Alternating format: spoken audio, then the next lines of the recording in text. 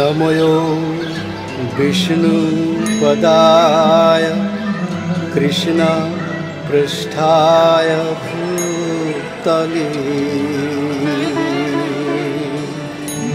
श्रीमते भक्तिवेदान् स्वामी इति नामिने। नमस्ते सरस्वते দেবে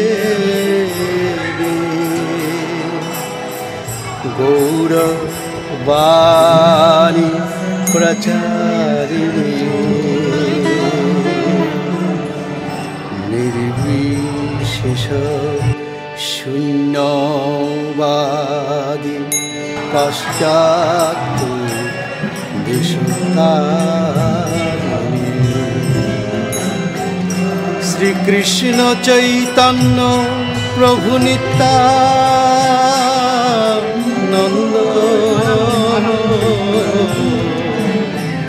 শ্রী অদ্বৈত গদাধর আদি গৌরভক্ত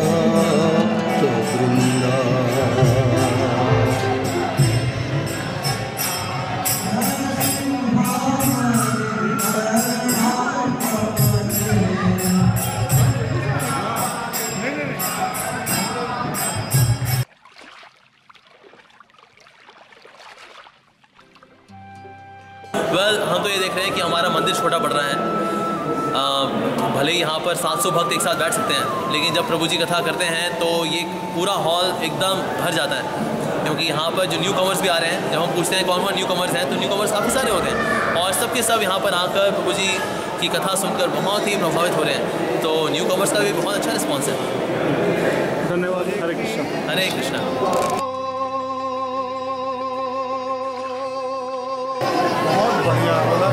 समय कम रह जाता है। मतलब प्रभु जी का जब भी वो लेक्चर होता है, हमें यही शिकायत रहती है कि समय बहुत कम मतलब अभी मन नहीं कर रहा था कि ये अभी मन नहीं कर रहा था कि ये बंद हो लेक्चर। लेकिन वो बीच में ही जब लेक्चर रुक जाता है तो ऐसा लगता है जैसे किसी ने गर्दन पकड़ कर रोक दिया हमारे हमारे, वो हो जाता है। मतलब इतना आनंद आता है तो वो थोड़ा सा जो है मतलब हम चाहते हैं कि लंबा चलता रहे। प्रभु जी इतने सुंदर दिखते हैं इतने सुंदर दिखते हैं कि देखते देखते जो है आनंद आता रहता है कि इनके मुख से हम सुनते हैं।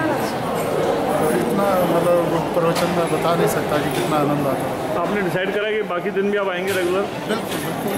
कोर्स मैं आज स्पेशली इसीलिए आया और मेरा इतना सिर दर्द था बहुत ज़्यादा।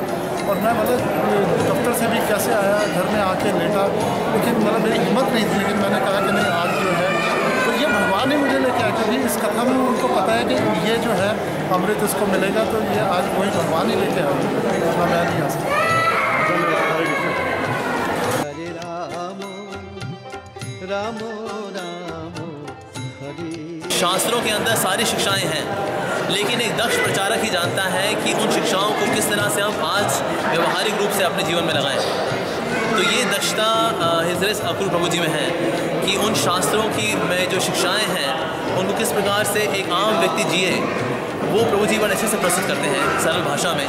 तो निश्चित रूप से ये जो विचार हैं, ये आज समाज के बदलेंगे, यदि हम यही रामायण और महाभारत के दिव्य संदेशों को, भगवदगीता के दिव्य संदेशों को अपने जीवन में लेके आएँ तो निश्चित रूप से इससे बहुत फ़र्क पड़ेगा और फ़र्क पड़ रहा है, हम इसको खुद महसूस कर सकते हैं।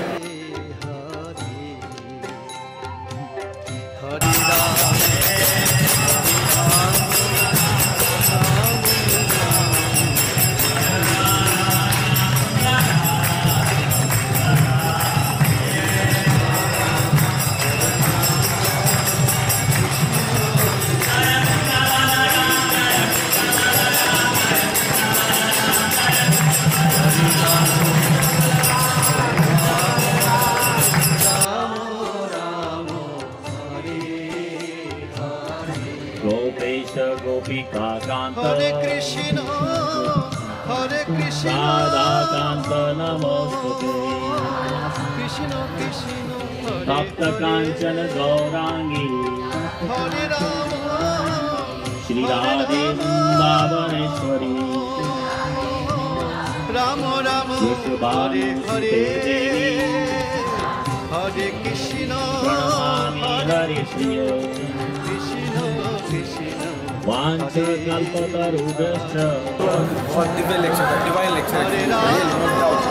इतना इन्फॉर्म इन्फॉर्मेटिव लेक्चर था कि इस प्रकार का इन्फॉर्मेटिव लेक्चर बहुत रेयर होता है एक्चुअली सुपर ये जो कथा है इतने डाउट्स इतने क्लियर से जो सोसाइटी में हमारे में फैले हुए वो सब क्लियर करेगी no doubt super Hare Ram. Prabhuji explains very uh, simply, then uh, everybody can understand it very easily. And uh, so nicely, Prabhuji explains everything, every point. So, so I appreciate definitely.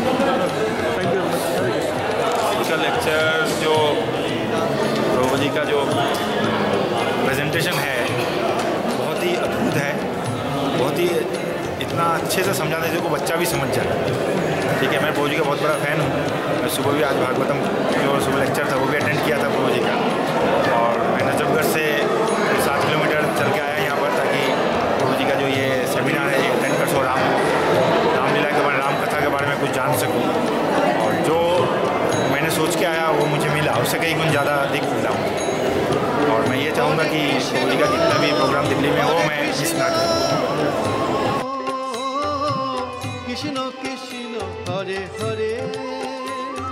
Technology इतना जो भी present है वो practically समझाते हैं। ठीक है कुछ भी हो ऐसे नहीं कि जो हम नहीं कर सकते ऐसा प्रभु जी का एटीट्यूड नहीं है। वैसे ऐसे चीज़ बता रहे हैं जैसे हम लोग प्रैक्टिकली इसको कर सकें। मैं तो विशेष बहुत प्रभावित हूँ और ये दूसरों को भी दूसरों को भी ज़रूर प्रभावित करेगा। बहुत यूनिक जी जिस तरीके से समझाते हैं आज तक मैंने किसी की बुक से सुना और बहुत आसानी से मैं समझ जाता है, क्योंकि कई बार हम लोग बहुत आगे चले जाते हैं, बहुत आगे की फिलोसफी सुन लेते हैं, लेकिन जो पीछे का हमारा है, वो सब छूट जाता है। जो एक्चुअल में हमारा बेसिक चीज़ें होती है जी वो ने हमें सारा समझाया, जिससे हम और लोगों को बड़ी आसानी से समझा सकते हैं। और जो इनका तरीका है स्लाइड शो दिखाने का, ये बहुत यूनिक है। और सबसे अच्छी बात है कि मैंने पर्सनली देखा है प्रभु को। जो प्रभु जी बोलते भी हैं, साथ में उनको खुद भी फॉलो करते हैं। सबसे अच्छी बात ये मैंने उनको बहुत पर्सनली देखा है। और बहुत हसमुख है और बहुत अच्छा बिहेवियर है उनके साथ साथ।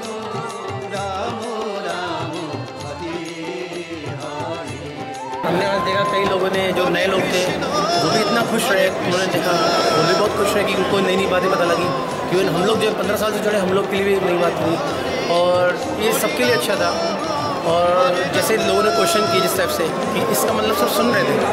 कई लोगों ने क्वेश्चन किए और कई लोग भी क्वेश्चन कर रहे हैं, कितनी देर हो गई लेक्चर खत्म हुए इसका मतलब लोग सुन रहे थे। अदरवाइज़ लोग क्या होता है लेक्चर्स तो होते हैं, लोग छोड़ के धीरे धीरे चले जाते हैं। आपने देखा होगा। जैसे लेक्चर खत्म होता है, प्रसाद के लिए चले जाते हैं। है, अभी भी कई लोग बैठे हैं और क्वेश्चन आंसर कर रहे हैं, कई लोग चले गए और बाहर हम लोग जाते हैं। कल भी मैं गया था कई लोगों ने क्वेश्चन किए और बोला कि हम ये जानना चाहते हैं, बहुत अच्छा लगा मेरे लेक्चर्स मैं तो जल्दी में आया हूँ, वैसे मैं इस क्लास स्टो क्लास टेंपल में रहता हूँ। लेकिन मुझसे भी कई लोग क्वेश्चन पूछ रहे थे जी कहाँ मिलेंगे कार्ड कहाँ सब कुछ? जी के बारे में बहुत अच्छा लगा। तो मैं वैसे, मेरे जाने का था सेवा, हम, हमारा जो सेवा दिखता है क्लास टेंपल में। लेकिन पबजी की वजह से मैं यहाँ पाँच दिन और चाहता हूँ। और सुबह भी बहुत अच्छा लेक्चर दिया श्रीमद भागवतम के ऊपर।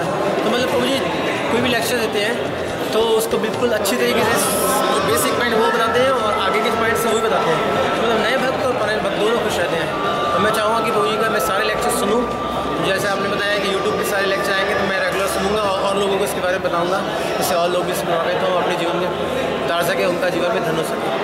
धन्यवाद। हरे कृष्ण। धन्यवाद। हरे कृष्ण।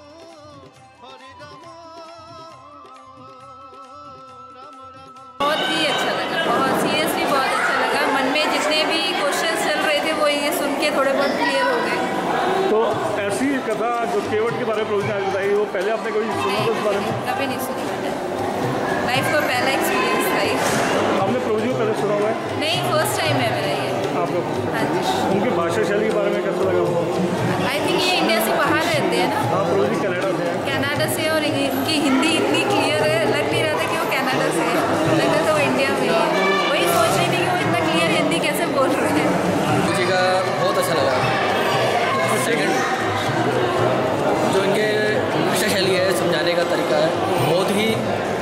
सिंपल है।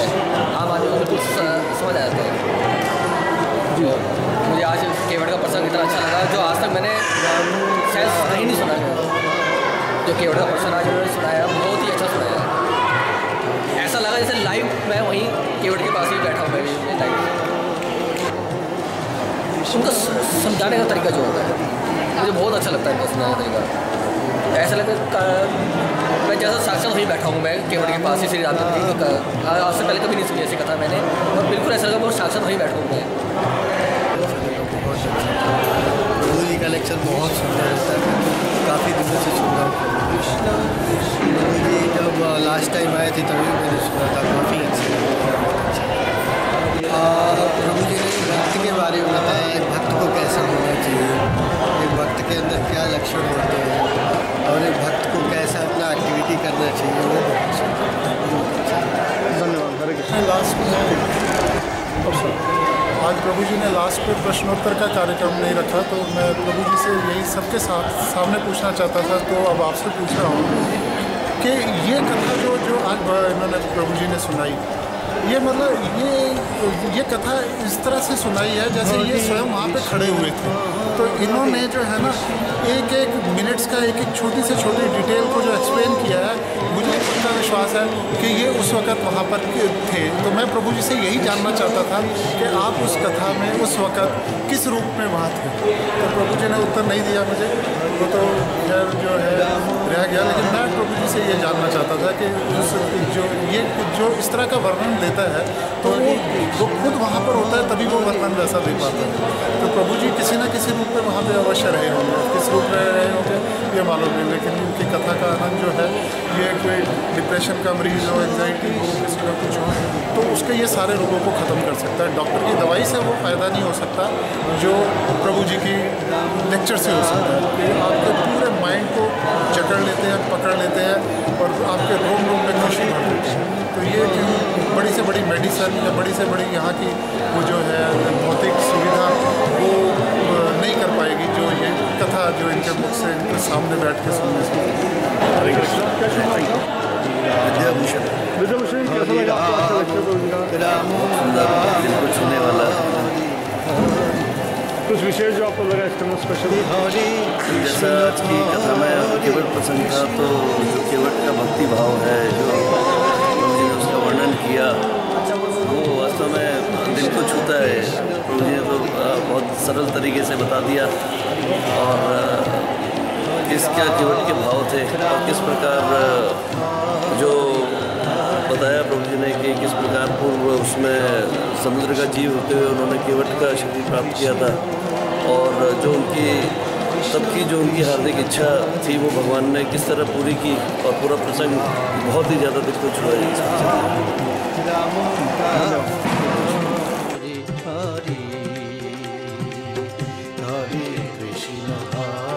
बहुत बहुत प्यारा लेक्चर था बिल्कुल पहली बार मतलब ऐसा मन प्रसन्न हुआ है। आज का लेक्चर सुन के केवट जी के बारे में, कि कैसे वो अपने आप को प्रभु की सारी आशीर्वाद ले रहा है और कैसे अपने आप को उद्धार करवा रहा है और प्रभु के ऊपर उपकार करके दिखाते हुए।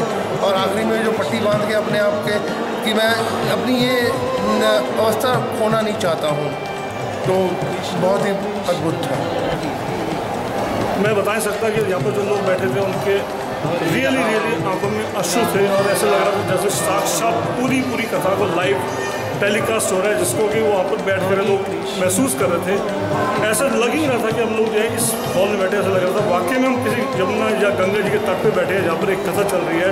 और उस कथा के जो साक्षात बताने वाले हैं, वो बिल्कुल लाइव देख करके आपके सामने आ रहे हैं उनको बताया। और उस बात को मैं बोल नहीं सकता, मेरे पास शब्द नहीं है। मैंने लोगों से पूछा, बताया आप लोगों ने अच्छा शाली के बारे में कभी ऐसे लगता नहीं है कि अक्रूर प्रभु जो है वो कनाडा से बिलोंग करते हैं, क्योंकि उनकी हिंदी इतनी स्पष्ट है कि जो यहाँ पर बॉर्न बॉटअप है दिल्ली के अंदर भी, वो लोग किसी कीमत पर भी इस तरह की भाषा शैली को बोल नहीं सकते।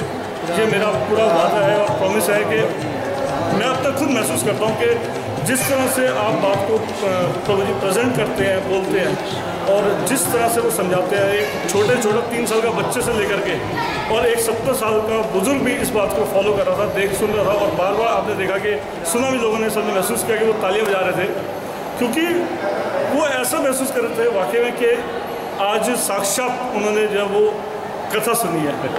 Thank you Hare Krishna. प्रभु जी की जितनी प्रशंसा की जाए, उतनी कम है। क्योंकि प्रभु जी की एक तो विशेषता है विशेष रूप से आ, कि बहुत ही कठिन कॉन्सेप्ट्स को भी प्रभु जी इतनी सरलता से बता देते हैं कि चाहे बूढ़ा हो चाहे जवान हो चाहे न्यू कमर हो या फिर कोई पुराना भक्त हो हर भक्त जो है वो प्रभु जी की कथा को रैनिश करता है। तो प्रभु जी कई प्रकार के तत्वों को लेकर चलते हैं। तो राम कथा होती है तो कथाएँ भी हैं साथ में आ, उसकी पौराणिक महत्व तो कई चीज़ें हैं जो प्रभु जी इतने थोड़े समय में कवर करते हैं। तो ये सब करने के लिए बहुत ही दक्षता चाहिए। और एक आम व्यक्ति भी प्रभु जी के साथ इतना अच्छे से कनेक्ट करता है। सो so, इसलिए हमारा बड़ा सौभाग्य है कि प्रभु जी ने ये पाँच दिन इस्कॉन द्वारका के लिए निकाले हैं यहाँ पर राम कथा करने के लिए। तो सभी भक्तगण काफ़ी आनंदित हैं काफ़ी कुछ सीख रहे हैं और मेरी प्रार्थना रहेगी कि और भी जितने मंदिर हैं वो भक्तगण उन्हें इन्वाइट करें और उनके लाभ उठाएँ